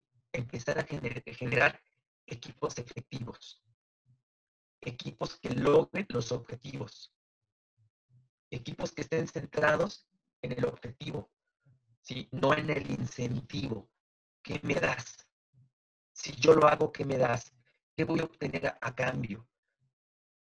Es una forma de pensar que se tiene, ¿sí? Pero que es, una creencia que se ha generado desde hace muchísimo tiempo. Porque a lo mejor no nada más viene de uno, ya viene de otro, de otro, de otro, de otro. Véanlo en la propia sociedad.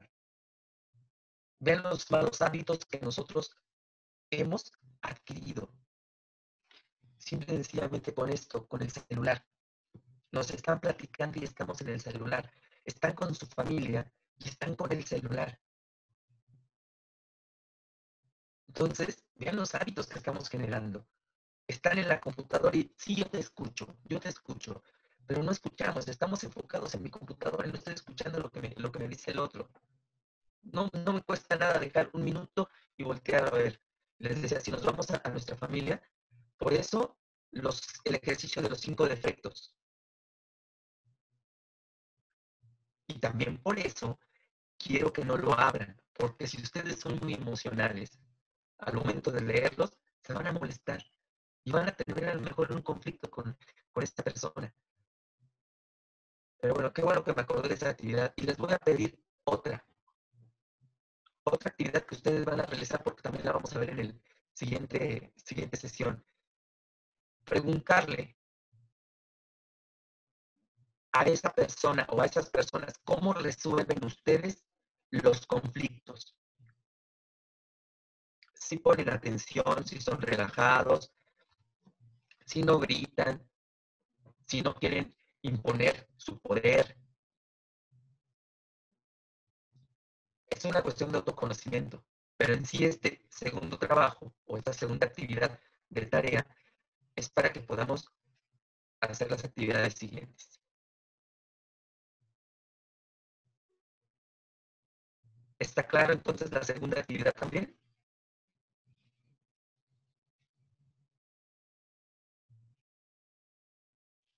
Ok, muy bien. Ok, muy bien. Gracias, David Reyes. Vamos entonces este, a generar nuestras actividades para la siguiente sesión y con eso vamos a iniciar. ¿Estamos de acuerdo? Si no hay dudas, si no hay comentarios, déjenme revisar más arriba por si alguien colocó alguno. No, este... Sí, yo quiero participar. Sí, por favor, por favor. Este, sí, mira, mi nombre es Aide Herrera. Este, mira, eh, algo que, que, yo este, considero muy importante eh, y en todo esto de la comunicación, sea verbal, sea escrita, eh, influye mucho cómo somos nosotros como personas. Mira, una persona que tiene, digamos que una mente positiva, eh, así, en, en, la más negra adversidad siempre va a haber cosas, siempre va a haber salidas para lo que se, tenga. Se está cortando tu, tu, este, tu participación. Sí, no se escucha bien, no sé por se qué. Corta. Sí, decía que... ¿Me lo, puede, ¿Me lo puedes mandar por el chat? Eh, ahorita es que no puedo escribir, como estoy a Ah, través del teléfono me cuesta más trabajo, pero Ah, decía que una persona que, que, que está, que, mm, que tiene, que, que no sé, influye mucho también su, su vida personal, ¿no? Una persona que es positiva, aún en la más oscura adversidad, va a encontrar buenas salidas y su actitud nunca va a cambiar. Una persona que trae pues una carga ya de muchos años, eh, pues ahora sí que pues por, por las circunstancias que le ha tocado tal vez vivir, pues difícilmente encuentran esa positividad y sus actitudes pues no favorecen, ¿no? Muchas veces son favores, eh, actitudes de, de víctima, de que yo siempre he hecho esto y me, siempre me he ido así. Y por más que a veces que uno trate de, de cambiarles un poco eh, esa, esa parte, esa, ese modo de pensar, es difícil. Yo creo que muchas de esas personas inclusive pues requieren un apoyo psicológico para que cambien un poco su actitud y forma de ver la vida. Y es muy importante que se ubiquen en el aquí y el ahora. Si yo trabajo en una institución, es mi aquí y mi ahora. Si estoy en mi casa, es mi aquí y mi ahora. Y no puedo comparar el pasado con el presente, con quien estuvo, con quien estoy y, y sabe Dios con quién estaré en cualquier circunstancia. Sí, claro. Sí, entonces eso creo que también influye mucho en, en la participación de los equipos. Eso, eso es una parte fundamental que, que realmente si tenemos buenos, buenas pe- personas con pensamientos positivos, pues van a jalar a las que no tienen muy buenos pensamientos positivos, las van a jalar. Pero las que no, pues tenemos una persona con pensamientos negativos, pues los va, lo va a jalar y ese es es donde yo ve- veo, veo la actitud, ¿no? La actitud siempre va Claro. a tener una, actitud positiva o una actitud negativa y siempre influye mucho en un equipo, la actitud.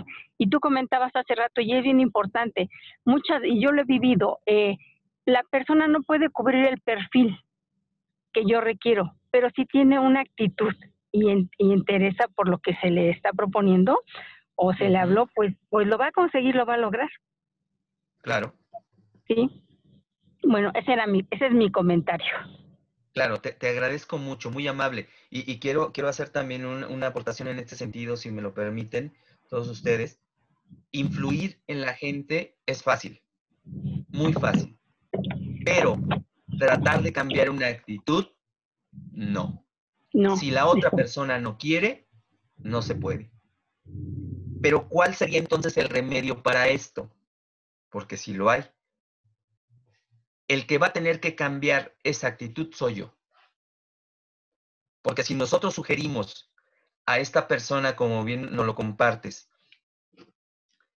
que tiene una actitud negativa, se, hace la víctima, pero eh, eh, la, parte de la victimización es una, es una situación defensiva, ¿eh? Es, es, algo defensivo que no quiero que me dañen, pero entonces no voy a ser la víctima yo, para entonces yo minimizarme como el pobrecito, e, e, el que todos me están apuntando, todo, nadie me quiere. E, es, esa parte es un, mecanismo de defensa que se tiene psicológicamente. Y tienes razón, tendría que entrar a terapia. Pero el punto es que no somos terapeutas. ¿Sí? Dentro de los equipos de trabajo no, pero sí podemos aprender a escuchar. Por eso les decía, ¿qué me está diciendo atrás de esa actitud? ¿Qué es lo que tiene atrás? todas sus creencias de esta persona o de estas personas que, no es una, te lo puedo asegurar, ¿sí? Esas cargas de vivencia, de, su, de su historia personal, no las ha sabido separar. Pero nosotros podemos tener la habilidad de persuadir para que entonces esta persona, yo no la quiero cambiar, el que va a tener que cambiar soy yo, persuadirlo para que entonces, si está dentro de este equipo de trabajo, haga únicamente lo que tenga que hacer. Pero tiene que cambiar mi actitud. La, actitud que cambia es la de uno, no la de los otros. Y, se los dejo también de tarea, chéquenlo. Más para que vean cómo cambiar una actitud de nosotros en el otro impacta. Hoy cuando lleguen a casa, no saluden. No saluden a la persona que los espera. O mañana cuando lleguen a su área laboral, ¿sí? No saluden al equipo de trabajo, todas las personas que con las que ustedes pasan y están habituados a saludar. Es para que vean las reacciones que, tienen, que tiene la gente. Cuando yo cambio mi actitud, la gente cambia. Y claro, al menos lo que escucho en, este, este comentario que nos, nos este, regalas, ¿sí? Es que nosotros hemos caído también en la parte de hacer la víctima a ella hemos caído también en esa actitud. ¿Por qué? Porque la vemos así. Y entonces nos volvemos también parte del problema, seamos parte de la solución. No, le, no traten de cambiar la actitud de ellos, traten de cambiar su actitud a con ellos. No eres la víctima. A ver, no nada más a ti te pasan los problemas. No eres el único ser en el mundo. No eres la única persona que trabajas. No eres la única persona que tiene necesidades. Si hay algo que tienes que solucionar, se soluciona. Hay algo que podemos solucionar aquí, lo solucionamos. E, e, en este rubro de yo soy, yo soy compañero confiable, tú eres una persona valiosa, ese tú, ese principio, ese tú, puede impactar muchísimo. Y lo sé porque lo he practicado en muchas instituciones donde hemos trabajado estos, estos temas. Cuando esa persona se convence de que soy yo importante, que tú, yo soy importante, estoy dentro. Y esta comunicación es la que nos hace fuertes dentro de, estas situaciones. Y créeme que no es la única que estás viviendo una situación de esta, ¿eh? de que, tengamos miembros de los equipos de trabajo, ¿sí? Que tengan este tipo de actitudes. Y no nada más estas, que, los que son los apáticos. Los decía, los que meten el chisme, los que generan conflicto a través de una distorsión de la comunicación, Entonces, todo eso va generando conflicto, conflicto, conflicto. Si nosotros no detenemos y no nos damos cuenta en cómo inicia, porque es de ahí donde vamos a partir, cómo inició, no vamos a poder detenerlo. ¿Se usan otras medidas? Claro, se pueden utilizar otras medidas, pero siempre hay que utilizar específicas y tácticas que me permitan que los demás, como tú bien los mencionabas, las personas con pensamientos positivos no se vuelvan personas con pensamientos negativos. que los negativos no me las invadan de. Pero este es, este es algo que es muy normal y le explico rápidamente por qué. Porque eso lo hemos aprendido. Hay que desinformar a unos, ¿sí? Y otros hay que tener poca información y no hay que darles toda. Hay que generar dos bandos. Ese es el punto. Así lo hemos aprendido. Pero véanlo, no es parte de uno solo, es parte de nuestra sociedad. Los azules contra los, contra los este, amarillos, contra los verdes, contra los blancos, contra los tricolor, contra, todos. Y no nada más en ese ámbito. ¿Sí estamos de acuerdo? Es parte de, este, de estos cambios que nosotros podríamos ir haciendo. Pero lo, lo vamos a enfocar e, en, en, los siguientes temas, lo, lo voy a ir enfocando para que veamos cómo efectivamente con esta actitud pueden cambiar muchas cosas. ¿Estamos de acuerdo? Muy bien. ¿Alguna otra duda, alguna otra participación, algún comentario? Chicos, chicas.